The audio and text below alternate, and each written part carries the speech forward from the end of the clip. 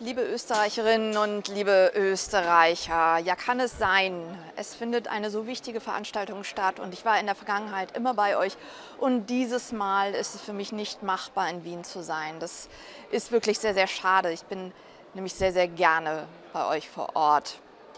Mein Name ist Katrin Langsiepen, ich bin äh, die Europaabgeordnete für die Grünen in Brüssel und Straßburg und darf heute einiges zum Thema Ableismus in der Medizin sagen.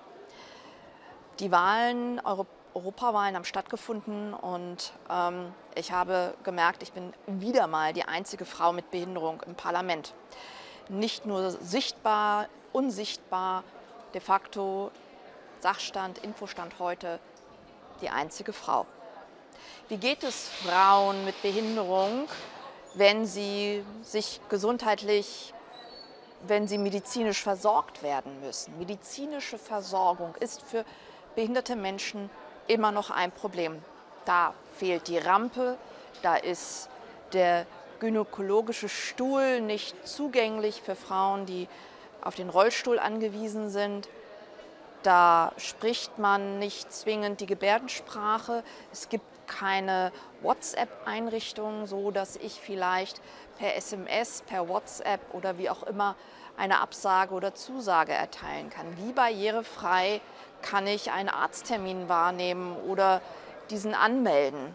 Hat der Arzt oder die Ärztin Verständnis, einen Einblick in dem, was es eigentlich geht?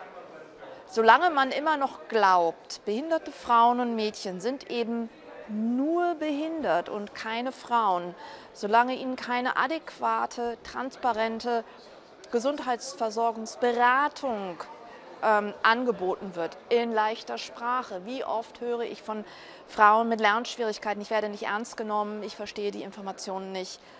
Ähm, und eigentlich werde ich gar nicht als Frau ernst genommen, sondern bin einfach nur die Person mit Behinderung. Das ist Ableismus in der Medizin.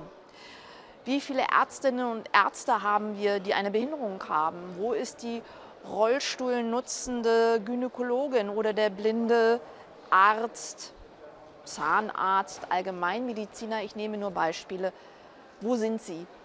Solange wir hier keine Möglichkeit haben auf Zugänge, auf Informationen, müssen wir von Ableismus reden. Und ich erwähne hier nur einige Beispiele, Sie sitzen gerade da und äh, hören sich das an und ich sehe, ich weiß, die Erfahrungen haben es gezeigt, in Ihren Köpfen gibt es noch hunderte von Beispielen. Und das ist nicht sichtbar und das ist ein Skandal.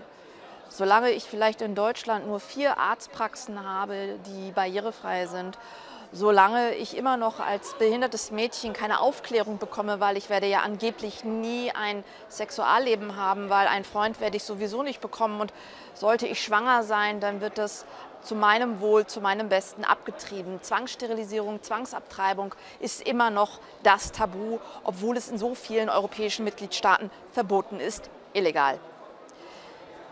Ein weites Feld, Sie sehen es, innerhalb von zwei bis drei Minuten darzulegen, ist sehr, sehr schwer. Ich wünsche Ihnen gute Beratungen, Diskussionen und dass das als Auftakt gesehen wird, wenn es um die gesundheitliche Versorgung von Menschen mit Behinderung, von Frauen mit Behinderung und Ableismus in der Medizin geht.